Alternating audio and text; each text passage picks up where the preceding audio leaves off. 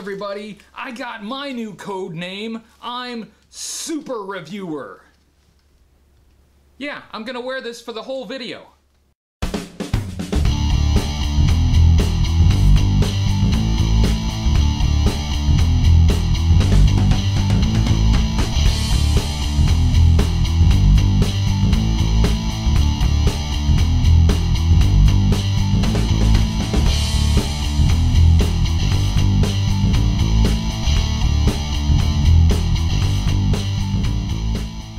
Hello everybody, Super Hoodie Coco here. You might notice that I'm especially shiny today. I'm so shiny and reflective that even if this is a bad review, you will be distracted and won't notice. That seems to be the theory behind the subject of this week's review. It's a figure that will distract you with shiny objects, so you won't notice that it is completely unoriginal. Before we get started with that, I need to give a code name to another one of my patrons, and the next on my list is Benjamin Penserga. Benjamin. Ben. Uncle Ben Uncle Ben's rice. Rice, rice, baby. I've got it. Ben, your code name is Vanilla Rice Viper. Welcome to the club. The subject of this week's review is the Super Trooper, a lesser known G.I. Joe action figure. Who is the Super Trooper, you ask? Well, he's a soldier that is super, he's very patriotic, and he carries a shield. No, not that one. Super Trooper and yes, that is his real code name, has the dubious distinction of being almost entirely a copy, both in the action figure and the concept. But he has a quality that may override all of that. He is shiny. And if you are easily distracted by shiny objects, which I am, then the problems with this figure may not matter. Super HCC 788 presents the super review of Super Trooper.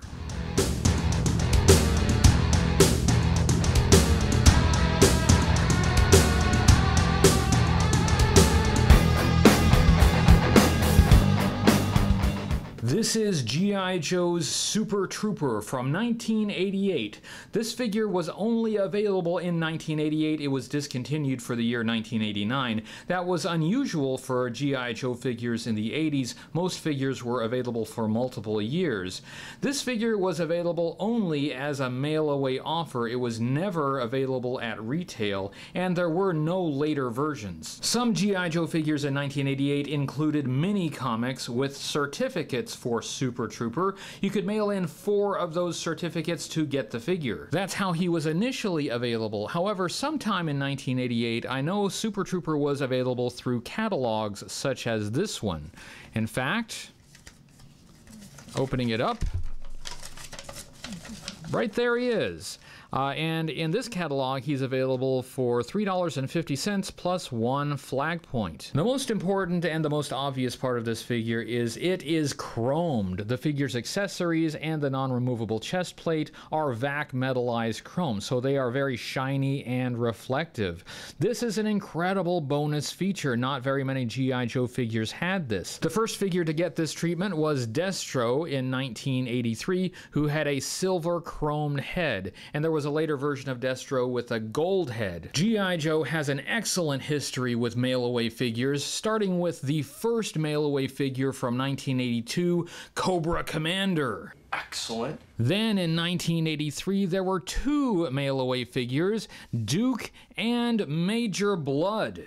Excellent. In 1984, the grand tradition continued with the mail away hooded Cobra Commander. Excellent. In 1986, we got another mail away figure with Sergeant Slaughter. Excellent. 1987 was a great year for mail away exclusives, giving us Starduster, Steel Brigade, and The Fridge. Excellent. After all these awesome mail away figures that came before, G.I. Joe fans in 1988 eagerly awaited the exclusive mail away figure for that year, and they got Super Trooper. Excellent. Not. Despite the name and the shield, Super Trooper is not a complete ripoff of the world's most famous super soldier, Captain America, just mostly a ripoff.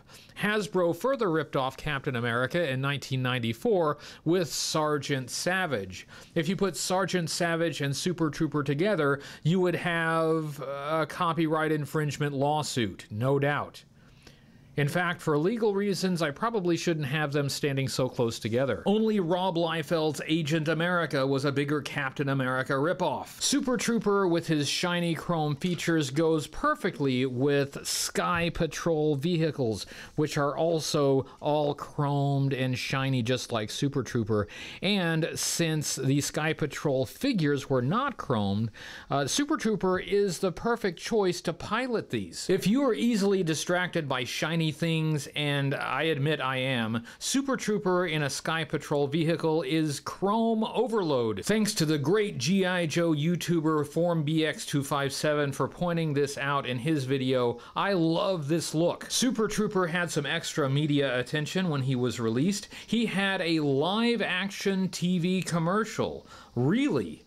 Of all the underrepresented Joe characters we would have loved to see in live action, Super Trooper got the nod. And before anybody comments about it, this figure has nothing to do with the movie Super Troopers that came out in 2001. Continuing another tradition with G.I. Joe mail-away figures, there is almost nothing new on this figure. Almost all of the figure and the accessories are reused from other figures. There are a couple unique items though. Keeping with Hasbro's habit of producing figures as cheaply as possible, the entire mold of Super Trooper was reused in 1990 for Rapid Fire, this figure that came with a VHS cassette. It's the same figure, different colors, and minus the shield. Oh yeah, I'm looking forward to reviewing this one. Let's take a look at Super Trooper's accessories, starting with his weapon. And this weapon, this gun, which looks like a submachine gun to me, is shiny and chrome and looks pretty good. It's also not a new accessory. This submachine gun is a reissue of the weapon that came with dial tone from 1986. If they're going to reissue an accessory though, this is not a bad one. I've always liked that weapon. Next we look at Super Trooper's helmet, and this is another shiny chromed accessory. Looks pretty good. It's a little bit different from the card art. The card art shows that helmet with a G.I. Joe logo on it. Uh, that is not on the accessory, of course. This helmet is also not original. This is a reissue of the helmet that came with 1985 crankcase. And finally, we get to the shield. And this shield is a unique accessory. It wasn't reused from another action figure. And really, what other figure would have this? Yes, it's a shield. It's not exactly like Captain America's shield. It's not round. Uh, it's more of a riot shield. It has a viewing port up here on the top.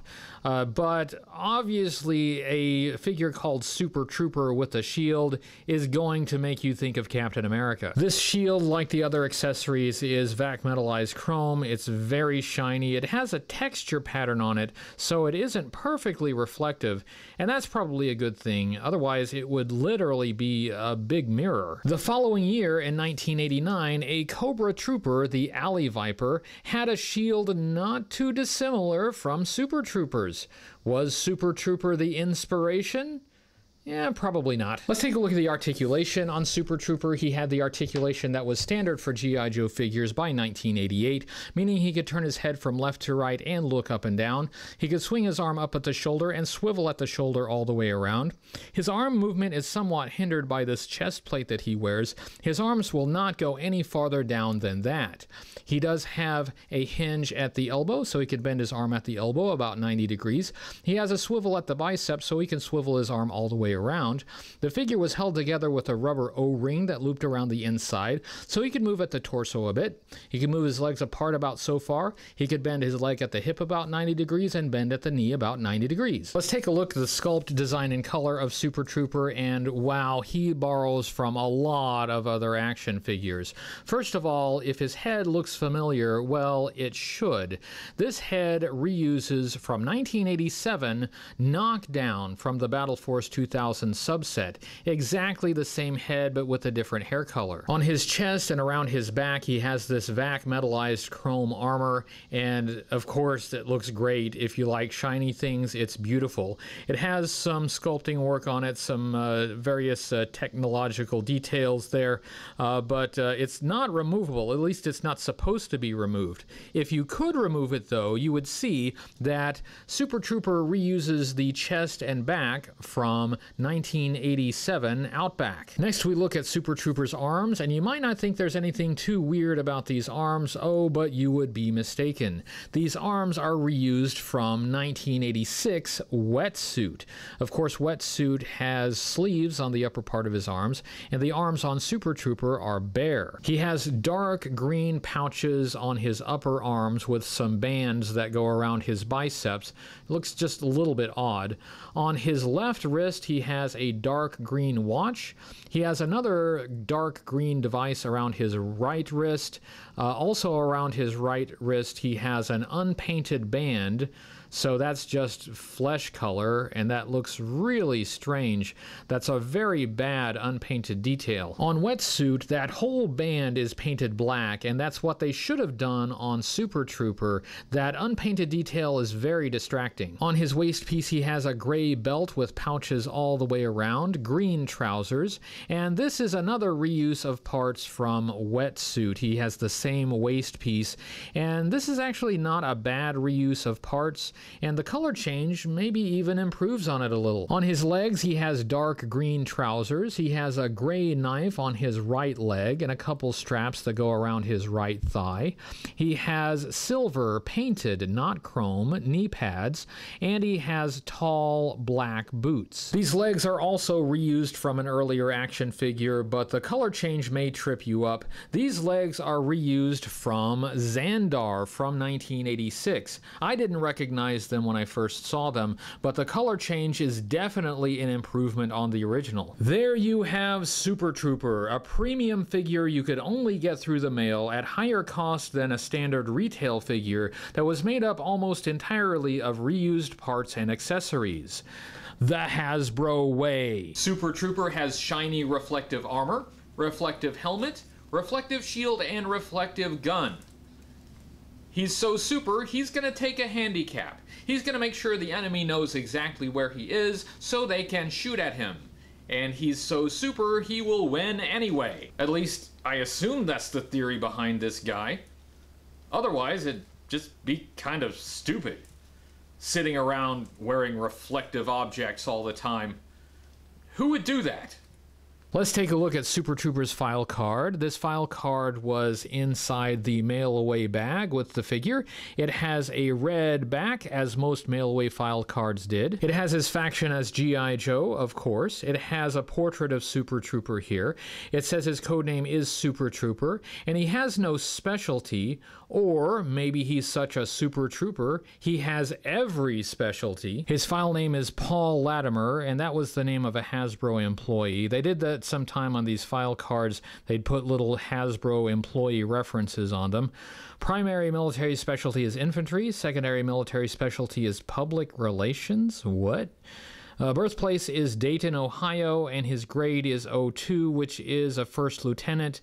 At least they didn't make him a captain. You know they were tempted, though. They were tempted to make Super Trooper a captain with a shield. This top paragraph says Lieutenant Latimer graduated at the top of the first class to be processed through a new Army school that's so secret it doesn't even have a name. Suffice it to say that the object of that program is to produce highly motivated individuals with advanced technical skills for assault operations deep within enemy ter- territory with virtually no support. Requirements consist of requirements consist of fluency in three languages from the potential adversary list, airborne qualification, and a recipient of the expert infantryman's badge. Well, yeah, that makes him elite, but it also sounds like a GI Joe. What about this secret school makes him more elite than the super elite G.I. Joe team? This bottom paragraph has a quote. It says, He went to West Point the hard way, head first. By enlisting in the Army straight out of high school. He then took the test for admission to the West Point Prep School, a grueling 10 week program with a 60% attrition rate and no guarantee of an appointment to the academy at the end of it. Okay, I have to give the file card credit here. West Point Prep School is a real thing. It's the U.S. Military Academy Preparatory School. The admission process is the same as to West Point. You have to be nominated by a U.S. congressman. But the person that goes to the prep school needs additional preparation before entering the academy, additional training and schooling. So, someone who goes to the prep school is someone who's not quite ready for West Point. He could have been staff material. The Joint Chiefs had their eyes on him. So, why did he sign up for a secret program with an extremely low profile and little chance of personal advancement? Was it because he preferred an assignment where honor, integrity, and loyalty were considered assets instead of liabilities? Or was he simply seeking adventure? Or maybe it paid like five bucks an hour more. The benefits were really good. A word about this file card. It does follow a common G.I. Joe file card trope. He's the best of the best of the best. Okay, fine. But at least he's not a superhuman soldier as his code name implies. That would have made him way too close to Captain America. Now, instead of being a superhuman trooper, he's just a trooper that trained really hard, which is better.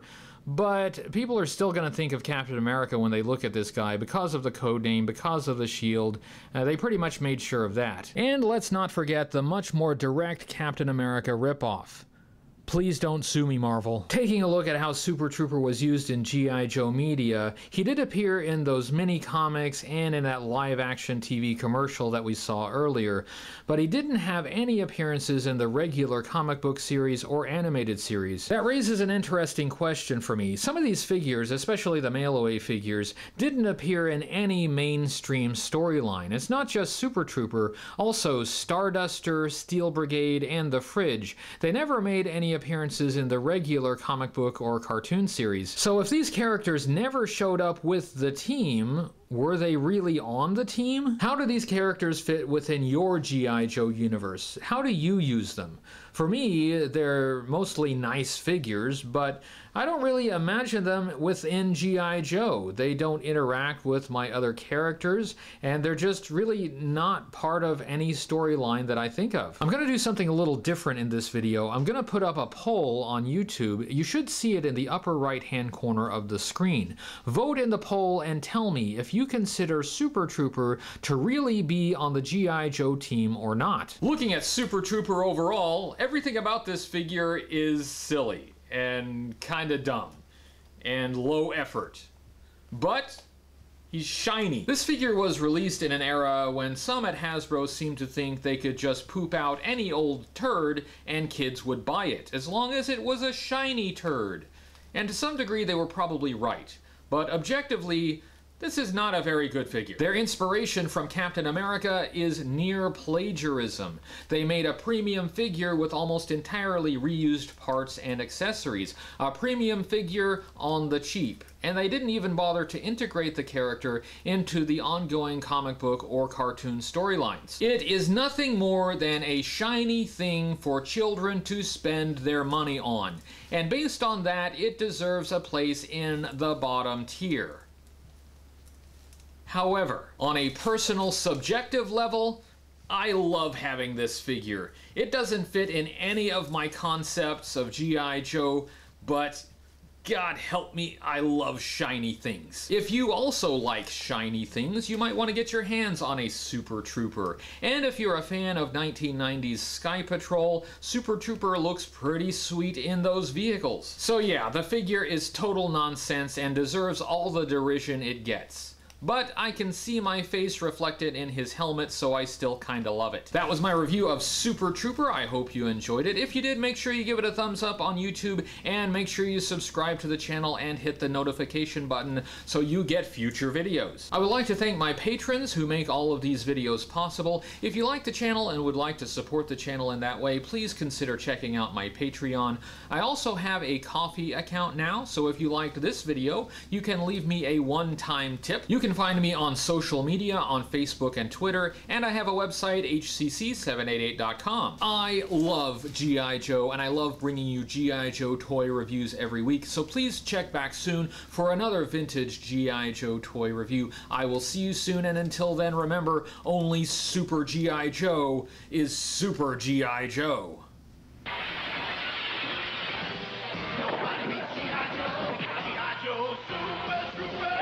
Introducing the Ultimate Warrior. The G.I. Joe Super Trooper. There's only one way to get him. Send four Super Trooper certificates and a $1 handling charge. See details on specially marked packages for your Super Trooper, the Ultimate Warrior. Nobody beats G.I. Joe, American hero.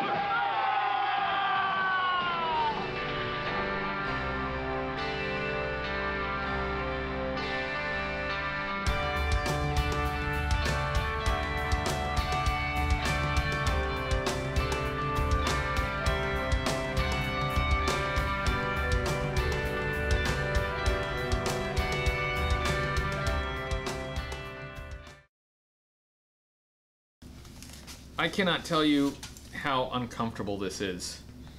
Ugh. It's hot. I feel like a baked potato. However, the alien transmissions are not getting to my brain when I wear this, so hey, that's an extra bonus feature.